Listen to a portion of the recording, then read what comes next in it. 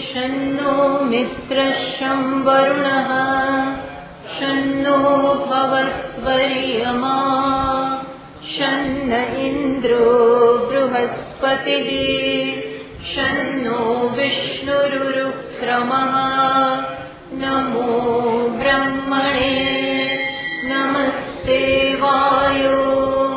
त्वमेव प्रत्यक्षं ब्रह्मासि ब्रह्म वदिष्यामि ऋतं वदिष्यामि सत्यं वदिष्यामि तन्मामवतु। रमवतु अवतु माम् अवतु वक्तारम्। ॐ शान्तिः शान्तिः श्रुतिस्मृतिपुराणानाम्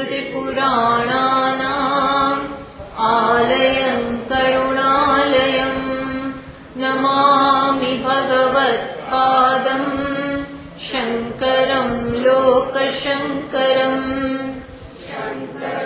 शङ्कराचार्यम् केशवम् वादरायणम् सूत्रभाष्यकृतौ वन्दे। भगवन्तौ पुनः पुनः। ईश्वरो गुरुरात्मेति मूर्तिभेदविभागिने व्योमवद्व्याप्तदेहाय दक्षिणामूर्तये नमः सर्ववेदान्तसिद्धान्त।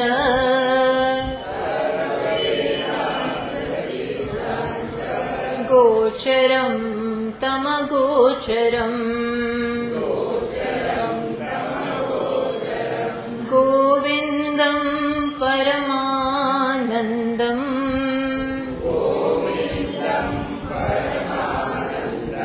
सद्गुरुं प्रणतोऽस्म्यहम्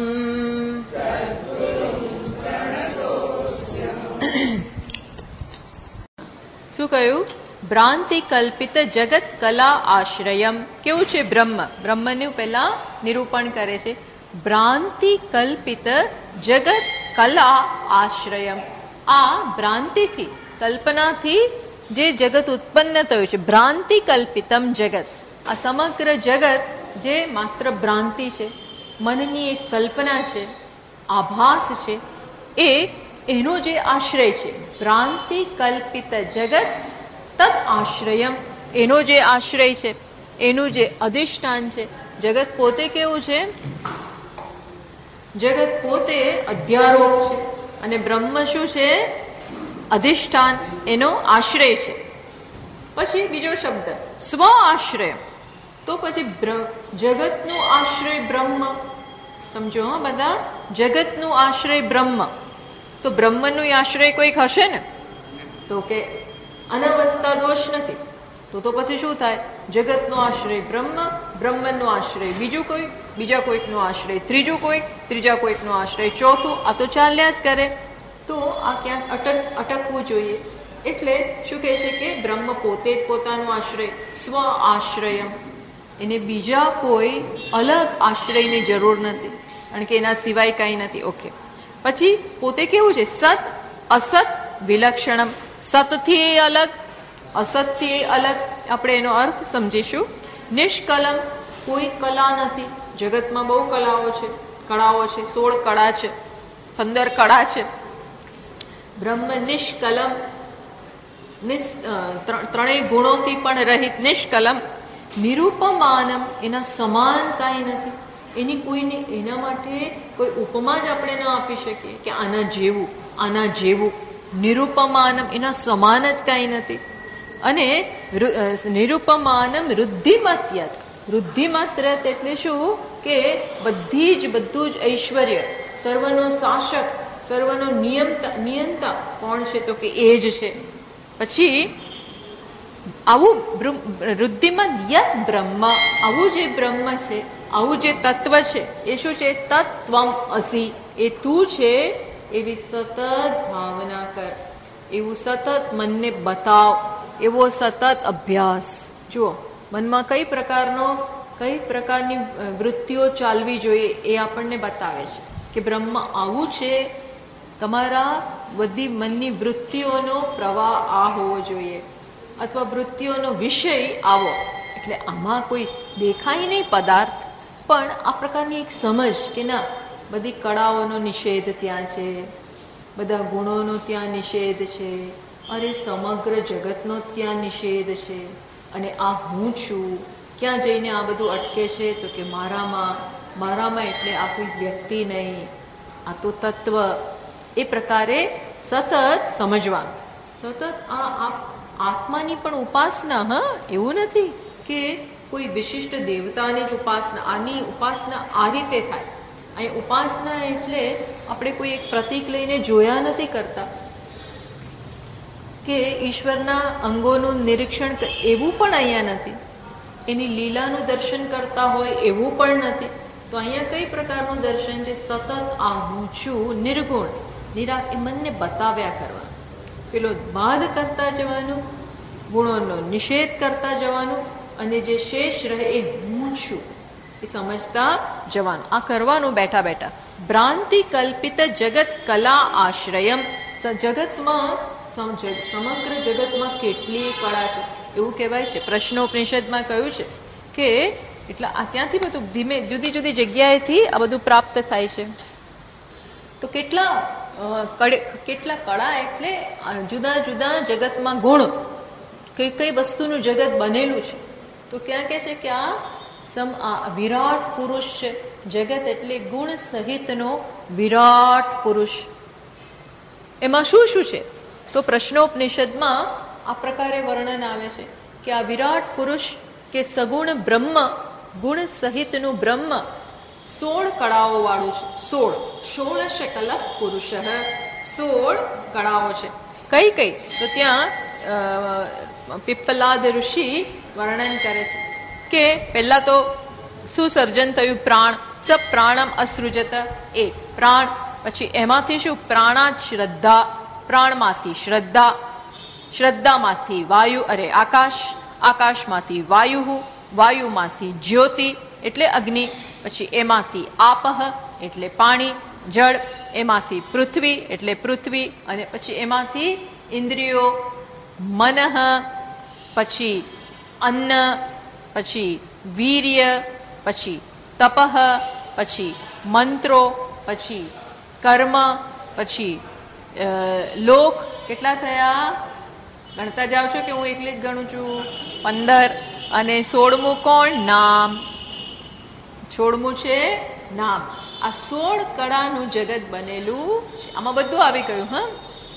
બધું જ તપ, મંત્ર, કર્મ, લોક અને નામ. નામ એટલે આપણું નામ. આ એક જગતનું આત્માનું તો કોઈ નામ નથી. આત્મા એ કઈ નામ નથી. આત્મા તો સર્વવ્યાપી એને આત્મા કહેવાય. ટૂંકમાં એ નામ ના કહેવાય. તો કારણ કે નામ સાથે શું જાય? રૂપ જાય. તો આત્માને તો કોઈ રૂપ નથી. એટલે ટૂંકમાં આ સોળે સોળ કળાઓ જગતની છે. તો આ સોળે સોળ કળાનો આશ્રય કોઈ કોઈ પણ કળા હોય કે કોઈ પણ વસ્તુ, એને કોઈક આશ્રય જોઈએ, એક અધિષ્ઠાન જોઈએ. અધર તો લટકે નહીં. અધર તો આ બધું હોય નહીં. આ બધું શેમાકથી આવેલું હોય? તો આ બધું શેમાંથી આવ્યું છે? તો કયું સહ એ ઈશ્વરમાંથી આ બધું આવ્યું. પછી ત્યાં સરસ વર્ણન કરે છે કે જેવી રીતે સ યથા ઇમા નદ્યા નદ્ય સ્યંદ્યમાના સમુદ્રાયણા સમુદ્રમ પ્રાપ્ય અસ્તમ ગચ્છંતી કે જેવી રીતે ત્યાં સરસ આ રીતે પછીનો શ્લોકમાં સમજા મંત્રમાં સમજાવે છે કે જેવી રીતે બધી નદીઓ નદ્ય યથા ઇમા નદ્યા નદ્ય જે બધી નદીઓ ક્યાં જાય એની એક જ ધ્યેય સમુદ્રમાં પહોંચવું સમુદ્રનું લેવલ પકડી લેવું ઉપરથી ક્યાંયથી સમુદ્રમાં જાય સમુદ્રાયણા સમુદ્રને જ પરાયણ છે. સમુદ્રમ પ્રાપ્ય અને સમુદ્રને પ્રાપ્ત કરીને અસ્તમ ગચ્છંતી. જેવી સમુદ્રને પ્રાપ્ત કરે નદી, તો શું થઈ ગયું? નદી રહી નહીં. હવે શું કહેવાય? સમુદ્ર, અસ્તમ ગચ્છંતી. નદી ક્યાંક અલોપ થઈ જાય. અલોપ થઈ જાય એટલે મળી જાય. હવે સમુદ્ર કે, હવે એવું ના કહેવાય, હા, કે ગંગા. સમુદ્રમાં મળી ગઈ પછી કેમ? સમુદ્ર કેમ કહેવાય? ગંગા કેમ કહેવાય નહીં? યમુના સમુદ્રમાં મળી જાય. પછી યમુના કેમ ના કહેવાય? તો હવે સમુદ્રને યમુના કહો ને. એવો પ્રશ્ન થાય. હવે સમુદ્રને તમે યમુના કહો. ગંગા કહો તો કે ના, કેમ? કારણ કે એમાં ગંગા તો આટલું જ છે. બાકી તો સમુદ્ર તદ ઉપરાંત જેને તમે ગંગા કહો છો એ પણ ખરેખર છે શું? જળ. એ સમુદ્રનું જ પાણી બાષ્પીભવન થઈ વાદળો બન્યું. વાદળમાંથી ઉપર ગયું, ઉપર જઈ અને અમુક ટેમ્પરેચર કે પ્રેશર પ્રાપ્ત થતા એ જ પાણી પછી વરસાદ રૂપે આવ્યું અને એમાંથી જ નદી બની. એટલે એ પાણી કોણ છે? એ નદી કોણ છે? એનો સોર્સ એનો સ્ત્રોત તમે તપાસો તો શું નીકળે? સમુદ્ર જ. એટલે કે છે કે હવે નામરૂપ એના જતા રહ્યા.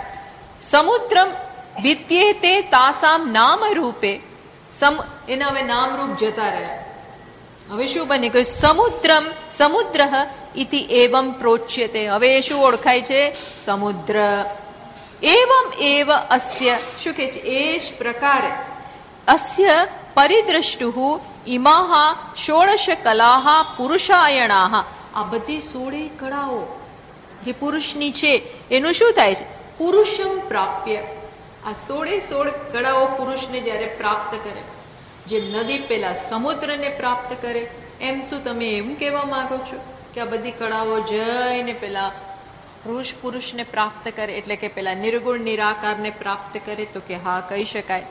એમ આપણે દોડતી ના જોઈ શકીએ. પણ આ બધાનો બાદ શેમાં થાય છે? આનું તમે સત્ય તપાસો. તપાસવા જાઓ કે આ સોળ કળાઓ કઈ છે. ચલો, જુઓ. તપાસવા જાઉં તો ધીમે ધીમે ધીમે આ બધું વિલીન થઈ જાય. આકાશ, અરે પૃથ્વી જળમાં વિલીન થઈ જાય. સમગ્ર જગત પૃથ્વીમાં વિલીન થાય. પૃથ્વી જળમાં વિલીન થઈ જાય. જળ અગ્નિમાં વિલીન થઈ જાય. અગ્નિ વાયુમાં વિલીન થઈ જાય.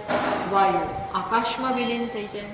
અને આકાશમાં વિલીન થાય. આત્મામાં. આકાશે એક ચતુરે રહે એટલે એનું એ ક્યાંથી આવ્યું? એ તપાસ કરો. તો સબ પ્રાણમ અસૃજત. એ એમાંથી જ પ્રાણ, એટલે અહીંયા પ્રાણ લખ્યું છે પહેલા, પણ આવી રીતે એકો એકનો તમે સત્ય તપાસવા જાઓ તો એનું મૂળ ફંડામેન્ટલ કારણ કયું નીકળે? તો કે આત્મા. તો કોણ સાચું થયું? અને પછી પૂછીએ કે આત્મામાં આને જન્મ આપવાની કેટલી શક્યતાઓ છે? તો ભલે કહીએ કે એ જ ઉપાદાન કારણ અને નિમિત્ત કારણ છે. પણ ખરેખર જો એમાંથી આ બધું બન્યું હોય, ખરેખર જો બન્યું હોય, તો શું થાય? એ હવે રહ્યો નહીં. એનામાં પરિવર્તન આવ્યું. જેમ દૂધમાંથી દહીં બને, તો દૂધ રહેતું નથી. દહીંમાં પરિવર્તિત થઈ જાય. એમ આત્મામાંથી કે બ્રહ્મમાંથી આ બધું જો જગત આવી ગયું, તો હવે બ્રહ્મ રહ્યું નહીં, આ જગત રૂપે આવી ગયું. તો કે ના, એવું નથી. આ પરિણામી કારણ નથી. બ્રહ્મ જગતનું પરિણામી કારણ નથી. અર્થાત, એનામાંથી ખરેખર કંઈક થયું, કંઈક પરિવર્તન થયું, વિકાર થયું, ટ્રાન્સફોર્મેશન થયો, તો એ રહે નહીં, તમે સમજજો, હા? કારણ એટલે બહુ ગુમાવવાનું. કારણનું ડેઝિગ્નેશન કે કારણ પદ પ્રાપ્ત કરવું, એટલે તમે તમે રહો નહીં. માતામાંથી બાળક જન્મે એટલે માતા હવે પહેલા જેવી નથી. અર્થાત, થોડું ઘણી શક્તિઓ ક્ષીણ થાય જ. કંઈ પણ એકમાંથી બીજો એટલે એટલી સંપત્તિ ઓછી થાય જ. પરિવર્તન આવે જ. જુદી રીતે પરિવર્તન આવે આવે ને આવે, લોટમાંથી લોટલી બનાવો, એટલે હવે લુઓ ના રહ્યો. લુઓ નથી રહ્યો. હવે શું બની ગઈ? રોટલી. રોટલીને શેકો એટલે હવે સુકાય. પેલું કાચી તો ખવાય નહીં. કાચા પણ ના રહ્યું. હવે શેકો. શેકો પછી ખાઓ. હવે પેટમાં જતું થયું. અત્યાર સુધી બહાર હતું. અત્યાર સુધી ઈદમ હતું. હવે શું બની ગયું? ખાધું એટલે અહમ. અહમ ઈદમ બની ગયું અહમ અર્થાત જેમ જેમ પરિવર્તનના સ્ટેજીસ અવસ્થાઓમાંથી પસાર થાય એમ એમ વસ્તુ જતી રહેતી જાય પહેલા રૂપે છે જ નહીં ક્યાં આપણા દાદા ક્યાંય રહ્યા નથી ક્યાંય દેખાતા નથી હશે ક્યાંક અને એ ક્યાંક જતા રહે ક્યાં આ બધું લાઈન ચાલતી આવે છે અર્થાત ખરેખર આવું હોય તો બ્રહ્મ બ્રહ્મ કહેવાય. ને તો ક્યાંય જતું રહ્યું. તો કે ના, આ તો કેવું છે? બ્રહ્મ કે એવું હું એવું બધું સહન કરતો જ નથી. મારામાં એવું કંઈ થતું જ નથી. હું કારણ તમે મને કહેશો જ નહીં, એમ કે છે. હું કારણ છું જ નહીં અને હું કાર્ય છું જ નહીં. મારામાંથી કંઈ સ્પષ્ટ ના પાડે છે. અપૂર્વમ, અનપરમ. મારામાં હું કોઈનામાંથી આવ્યો નથી. અને મારામાંથી કોઈ આવ્યું નથી. સ્પષ્ટ. સ્પષ્ટ વક્તા. આ તો તમે મારી ઉપર ઠોકી બેસાડ્યો. આપણે કોઈના પર ઠોકી બેસાડ, તું જ ગુનેગાર. તું જ આમ. જે યશોદાજીને કહી, તું જ આની માં, કૃષ્ણની. તું જ માં. અરે ભાઈ, એ એ તો એને ગમતું હતું પણ એની સાચી માં નથી. અપરમાં છે. એનીવે એમ આ બ્રહ્મ કે છે, હું કોઈનો પિતા નથી. પિતા ન કહો મને. હું કોઈનો પુત્ર નથી અને હું કોઈનો પિતા છું. એ તો આ શું છે? જે રીતે રજ્જુને આપણે કહીએ કે તું સર્પનું કારણ. તું જ કોનું કારણ? આ સાપ દેખાયો ને તારે કારણ. જેમ પેલા અંધેરી નગરી ગંડુ રાજા પેલાને બિચારાને કઈ લેવા દેવા નહોતી ને એને પકડીને ચડાવી દીધો ફાંસી કે તું જ છો કારણ કેમ? કારણ કે તું પસાર થયો ને આ પડ્યું. તું પસાર થયો અને આ ભીત પડી. પછી તો આખી બહુ કઈ મોટી મોટી કથા છે. આવું ગાંડા વેડા. એમ આપણે બ્રહ્મને પકડીએ છીએ અને કહીએ છીએ કે તું કારણ છે. એમ રજ્જુને પકડીએ અને કહીએ કે તું સર્પનું કારણ છે. રજ્જુ કારણ બારણ નથી. રજ્જુ કેવું છે? વિવર્ત કારણ. કેવું કારણ કહેવાય? વિવર્ત કારણ વિવર્ત કારણ એટલે શું? નો કારણ. વિવર્ત કારણ એટલે ખરેખર કારણ જ નહીં. વિવર્ત કારણ એટલે તો બિચારું છે. આપણે કે હું તો માત્ર હું તો ભાઈ મને કોઈ લેવું મને કઈ ખબર જ નથી. ઘણી વાર આપણે કે ક્યાં ગયા પેલો ચોર આવે તો ને? કહે છે ને કે કોઈ એક સાધુને કહ્યું કે તમે અહીંયા હતા ને અમારી ગાય ચોરી ગયો? ક્યાંય ગાય ક્યાં લઈ ગયો? તો કે મને ખબર નથી. પેલા એને મારવા માંડ્યા. તમે બેઠા છો ને, પણ એને કાંઈ ખબર જ નથી. તે જોયું જ છે. અને તે જ આમ કર્યું, તમે જ આમ કર્યું. એવું છે જ નહીં. એને કંઈ ખબર જ નથી. એમ, આ બ્રહ્મને જાણતું જ નથી કાંઈ. એના સિવાય કંઈ છે જ નહીં. એ દ્રષ્ટિએ કહે છે, ભ્રાંતિ કલ્પિત જગત કલા આશ્રયમ. એ દ્રષ્ટિએ આટલી વિશાળ, આટલું વૈવિધ્યપૂર્ણ જગત વિવિધતાનો ત્યાં કોઈ પાર નથી. એટલું સુંદર પણ કોઈકની વિવિધતા દેખાય, કોઈકને દોષ દેખાય, કોઈકને ગુણ દેખાય, જેવું જેનું મન, એવું એને બધાને દેખાય. એ બધાનું આપ, ભગવાન શું કે આશ્રય, ભાષ્યકાર શું છે? ભ્રાંતિ કલ્પિતા બધું શું છે? ભ્રાંત્યા કલ્પિતમ. ભ્રાંતિથી કલ્પિત આવું જે જગત છે અને એની અનેક કળાઓ આજે આટલી બધી કઈ એનો આશ્રય. એ શું છે? માત્ર આશ્રય એટલે ખરેખર આ ટેબલ અત્યારે હજાર વસ્તુઓનો આશ્રય છે ને? આપણે કેટલો મોટો ભ્રાંતિ કલ્પિત. આ તો ભ્રાંતિથી નથી, આ તો બધું અહીં સાચું છે. આટલી ચોપડી, ગ્લાસ ને હજાર વસ્તુ છે. એ બધાનો આધાર કોણ છે? ટેબલ. એવો આધાર આ તો સાચો આધાર અને આ બધાને શું કહેવાય? આધેય આ બધાને કહેવાય આધેય આ એકો એક વસ્તુને અને ટેબલને શું કહેવાય? આધાર. શું જગત અને બ્રહ્મ વચ્ચે શું આવો આધાર આધેય સંબંધ છે? તો કે નો. અહીં તો આ બંને આધારે સત્ય છે ને આધેય સત્ય છે. ત્યાં તો માત્ર આધાર જ સત્ય છે. કોણ સત્ય છે? બ્રહ્મ. બ્રહ્મ મિથ્યા નથી હો. એના ઉપર જે કલ્પના કરવામાં આવી, એ શું છે? આધેય મિથ્યા છે. આધેય કે જગત કલ્પિત છે. બ્રહ્મ કલ્પિત નથી. સારું સારું બધું કલ્પિત. તો કે ના. ભ્રાંતિ કલ્પિત જગત કલા આશ્રયમ. એનો આશ્રય એ છે. અધિષ્ઠાન છે એ. જેવી રીતે, ચલો તમને બીજું પણ હું એક બતાવું. પુરુષ સૂક્તમાં આપણને કહે છે કે આ પુરુષ કેવો છે? એતાવહા. પહેલા કહ્યું સમગ્ર જે સહસ્ર શીર્ષ જગત કે જો એટલું વિશાળ, આપણું મગજ કામ ના કરે એવું જગત છે. કોઈ રીતે આપણે એને મગજમાં સમજી ના શકીએ એવું વિશાળ, વૈવિધ્યપૂર્ણ અને માઇન્ડ બોગલિંગ સ્વામીજીના શબ્દોમાં કહીએ તો એવું આવું જગત છે. આપણી તો દ્રષ્ટિ છે ને વૈજ્ઞાનિકોને એ પણ કેટલું સમજી શકે છે? માત્ર આ એક આકાશગંગા. એનાથી પછી તો આપણે સમજી પણ નથી શકતા. અને શું કહે છે કે પછી તો બહુ મોટી દિવાલ છે. એની પાછળ શું છે? બિયોન્ડ દેટ એની બિયોન્ડ એની પછી શું છે એની આપણને કલ્પના છે પણ વિશાળ બધું છે. અફાટ અફાટ છે. આપણે તો જે છે ને, આપણી પૃથ્વી તો આ આખી સૂર્યમાળા એક ગેલેક્સી એક મિલ્કી વેવમાં છે. એની અંદર ગેલેક્સી અને એની અંદર આ બધું. આ એ આપણી સમજની બહારની વસ્તુ છે. તો વિચાર કરો આવું તો કેટલી ગેલેક્સીઓ છે અને કેટલી મિલ આકાશગંગાઓ છે. આપણને તો ખબર જ નથી. આવું જે છે એટલે એમ થાય આમ કલ્પના. આ બધી કલ્પના તો ત્યાં પુરુષ સૂક્તમાં શું કે છે? આવું જગત પુરુષ એવ ઇદમ સર્વમ. શું કે છે? આ ઈશ્વર જ આ બધું છે. યદ ભૂતમ યચ્છ ભવ્યમ.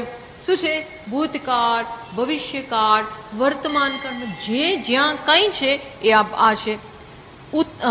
પછી શું કે છે? ઉત ઉત અમૃતત્વસ્ય ઈશાન. શું કે છે? કે દેવતાઓના સ્વામી, આ સર્વ કાંઈ આ વિરાટ પુરુષ સર્વ દેવતાઓનો સ્વામી, આ વિરાટ પુરુષ જ છે. પછી શું કે છે? યદન્ને નાતી રોહતી. આ એ જ આ સમગ્ર જગત રૂપે વ્યક્ત થાય છે. અને એનાથી શું કે છે? એના આ બધાને ઓળંગીને એ જ પરમાત્મા અન્ન વગેરે રૂપે છે અને ખરેખર આ બધાથી પર છે. પછી કે છે, આ એનો મહિમા છે. પછી છેલ્લે શું કે છે? પાદ હા સમગ્ર જગત એનો મહિમા છે. પછી શું કે છે? ત્રિપાદસ્ય અમૃતમ દિવી. આ તો એના માત્ર, આ સમગ્ર જગત તો એના ત્રણ પગ જ છે.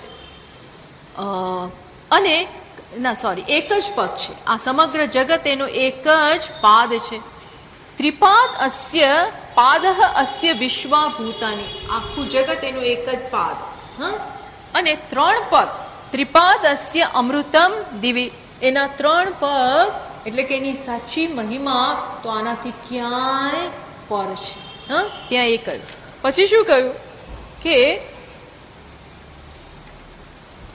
જેમ ભગવદ્ ગીતામાં અર્જુનને અર્જુનને ભગવાન કે છે.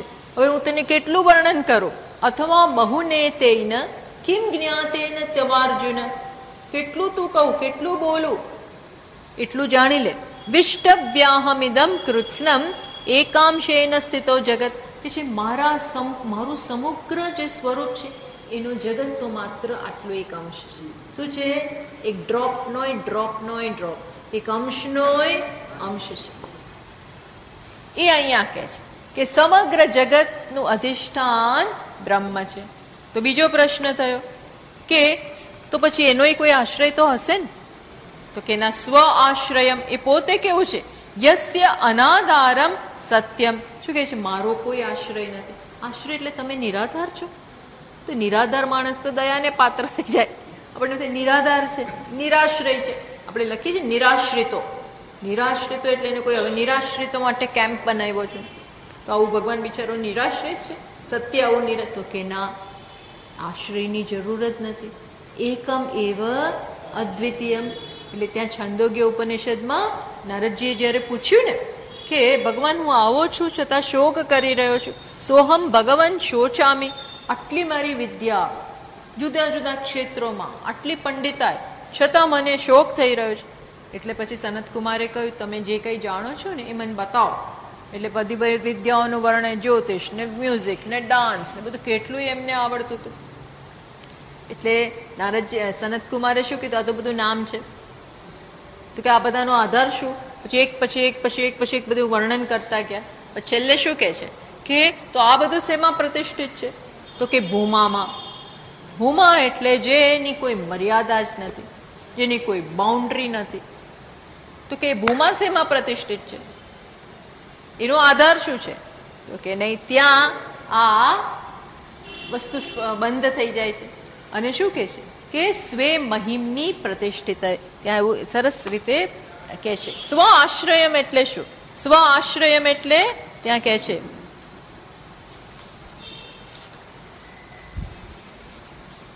યત્ર નાન્ય પશ્યતી નાન્ય આ આ એવું તત્વ છે જ્યાં એકબીજાને જોતું નથી.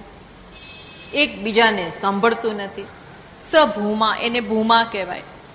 અને સ પછી નારદજી પૂછે સ ભગવહ કસ્મિન પ્રતિષ્ઠિત તો પછી એ ભૂમનની, એ તત્વની શું? એ પોતે શેમાં આધારિત છે? સ્વે મહિમની, યદિવાન મહિમની હતી બે રીતે કહી શકાય. નારદજી સનતકુમાર કે છે.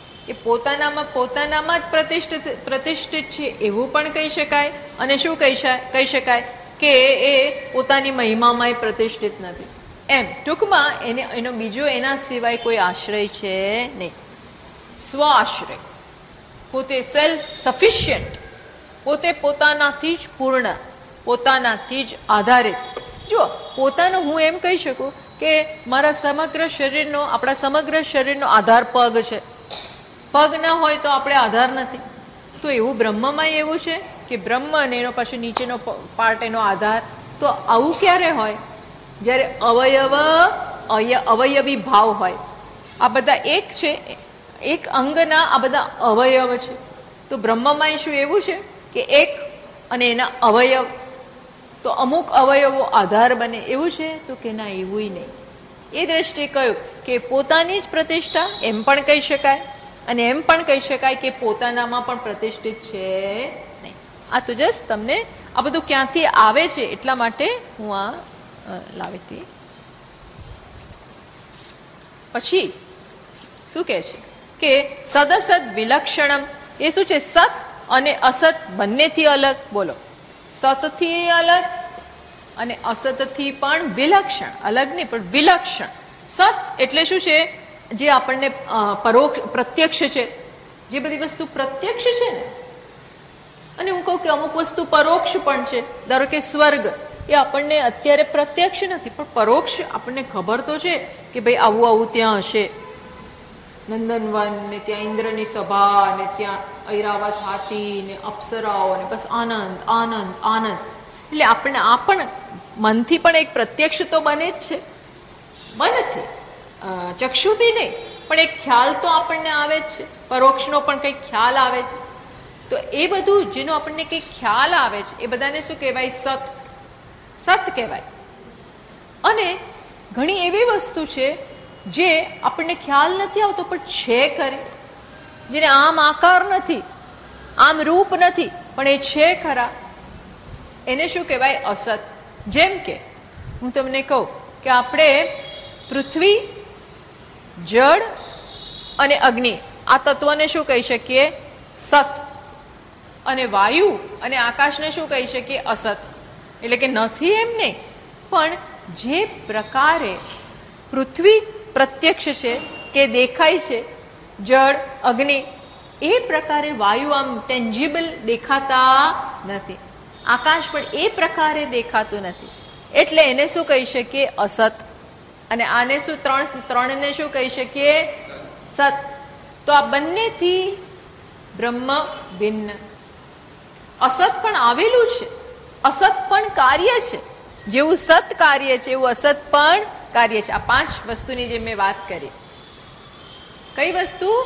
સતમાં, પૃથ્વી, જળ, અગ્નિ અને વાયુ અને આકાશ અસતમાં આવે. તો આ બંનેથી વિલક્ષણ. તો એવું છે. પ્રત્યક્ષ પરોક્ષ પંચભૂત વિલક્ષણમ આ પાંચે પાંચ મહાભૂતો જે સત અને અસતમાં જેનો સમાવેશ થઈ જાય છે એનાથી અલગ એટલે જ ત્યાં બૃહદારણ્ય ઉપનિષદમાં આવી રીતે વર્ણન આવ્યું કે બ્રહ્મના બે રૂપ છે કયા બે રૂપ તો ત્યાં એવી રીતે બતાવ્યું કે સત અને અસત સત અને અસત એટલે ત્રણ આ પૃથ્વી જળ અગ્નિનું બનેલું અને વાયુ અને આકાશનું પણ બનેલું જગત. અમુકમાં ત્રણ હોય, અમુકમાં પેલા બે હોય. તો આ બધાથી બ્રહ્મ ભિન્ન? એ પછી કેવું છે? નિષ્કલમ. નિષ્કલમ એટલે નિરવયવમ. કોઈ અવયવ જ નથી. બોલો, અવયવ હોય ને, તો એ વસ્તુને તમે તોડી ફોડી શકો.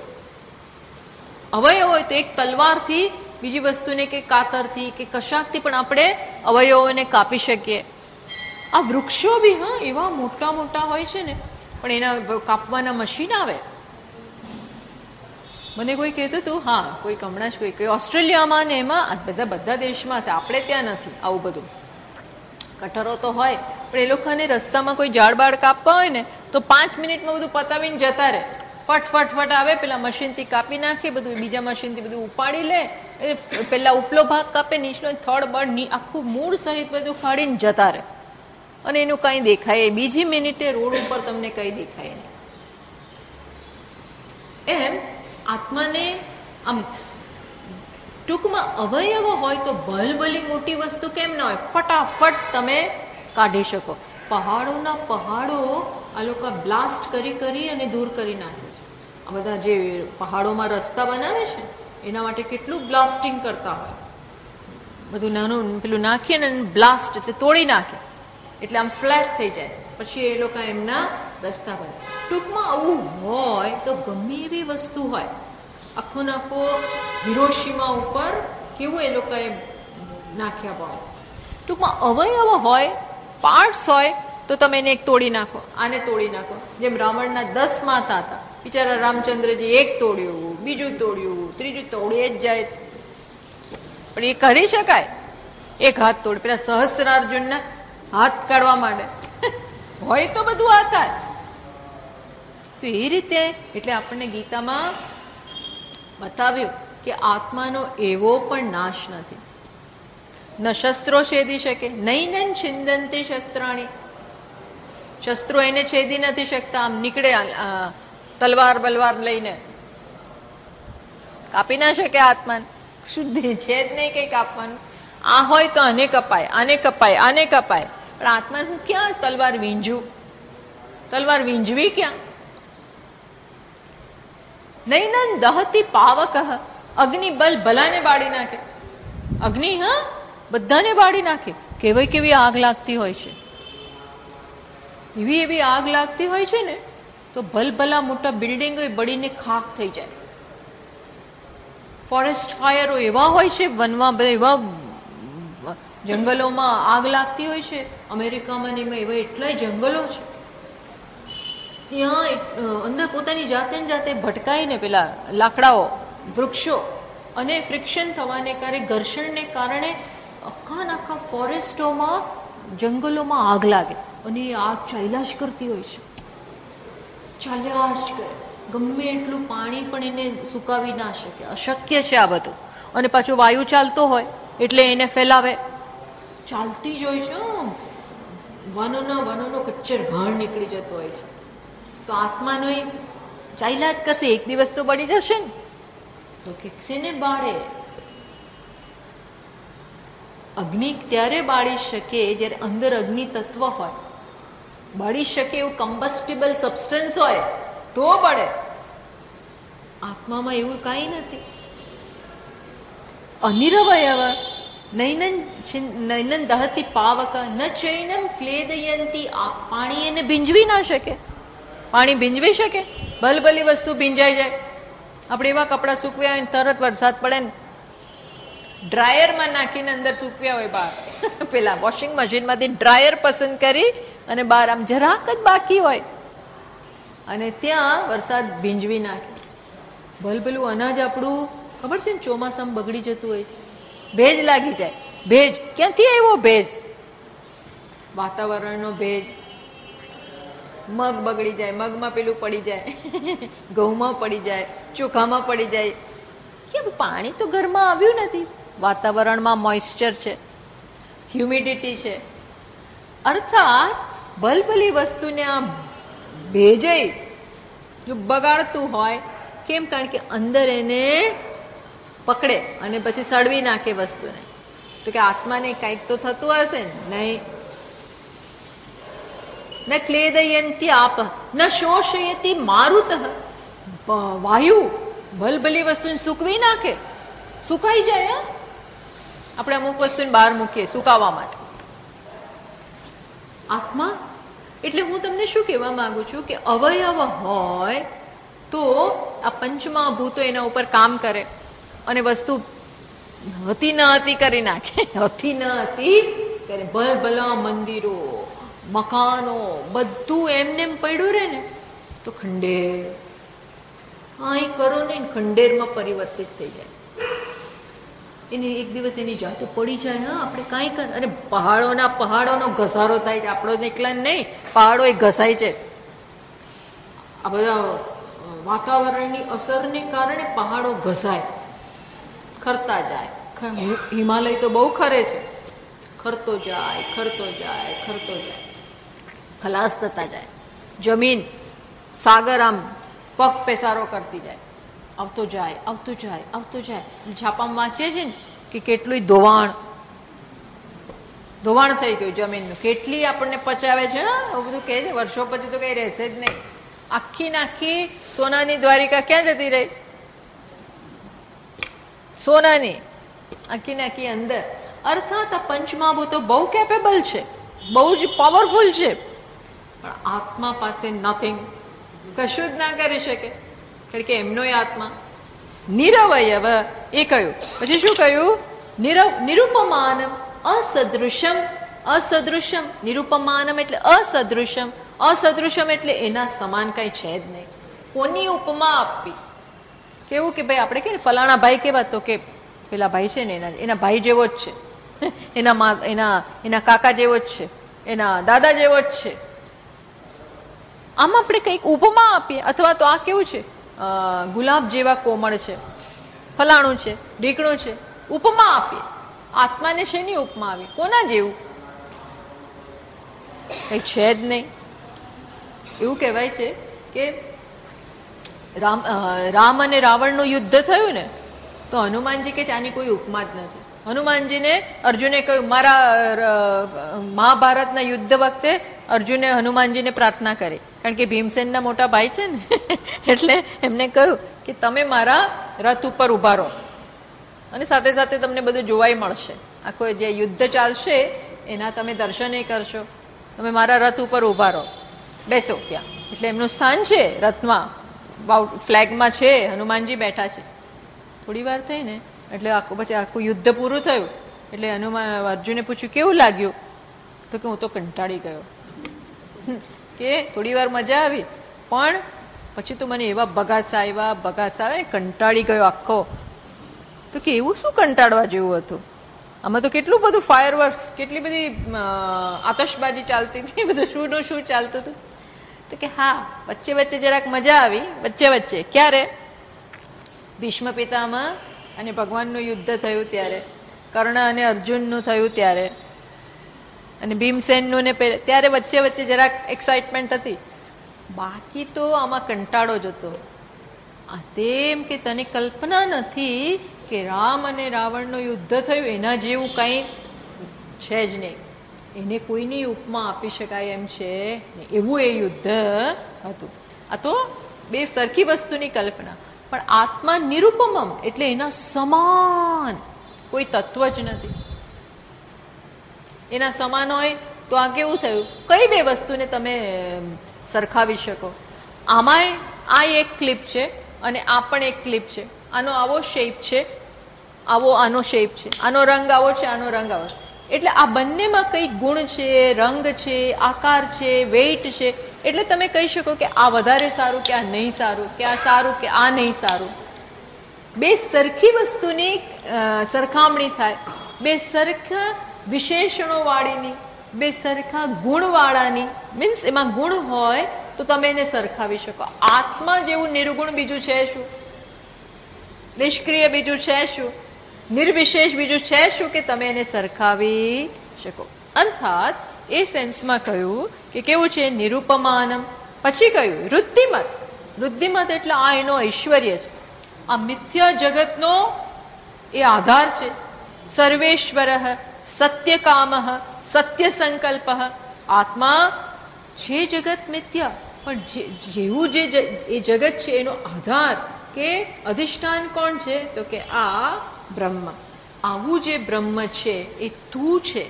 તત્વમ અસી. એવી સતત ભાવના કર. આ એક દિવસે આ જ્ઞાનમાં તો નિષ્ઠ નહીં થાય. ધીમે ધીમે દ્રઢતાપૂર્વક આની સતત ભાવના કરવાની.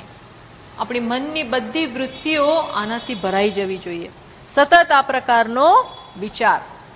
એવું તું સતત કર. એવું એને દરેક શ્લોકમાં છેલ્લે બ્રહ્મ, યદ બ્રહ્મ તત્વમ અસી ઇતિ ભાવય આત્મની. સતત આવી ભાવના. આ સતત કરવું જોઈએ સજાતીય વૃત્તિ પ્રવાહ. આદર સહિત લાંબા સમય સુધી અને પ્રેમથી. એ તમે કર્યા કરો તો જ એની સમજ પડે. એ કહ્યું હવે આપણે આપણું સ્તોત્ર પાઠ કરીએ. આ થોડુંક નવો શ્લોક શરૂ કરીશું, એ પૂરો તો થશે નહીં. નેક્સ્ટ ટાઈમ જોઈશું. હા, પહેલાં આપણે આ શાંતિ મંત્ર બોલી દઈએ. ઓમ પૂર્ણમત પૂર્ણમિદમ પૂર્ણાત પૂર્ણમુદચ્યતે पूर्णस्य पूर्णमादाय पूर्णमेवा वशिष्यते। ॐ शान्तिशान्तिशान्तिः शङ्करं शङ्कराचार्यं केशवं बादरायणं सूत्रभाष्यकृतौ वन्दे भगवन्तौ पुनः पुनः। ईश्वरो गुरुरात्मेति मूर्तिभेदविभागिने तदेहाय दक्षिणामूर्तये नमः। ॐ शान्तिः हरिः ॐ श्रीगुरुभ्यो नमः। हरिः ॐ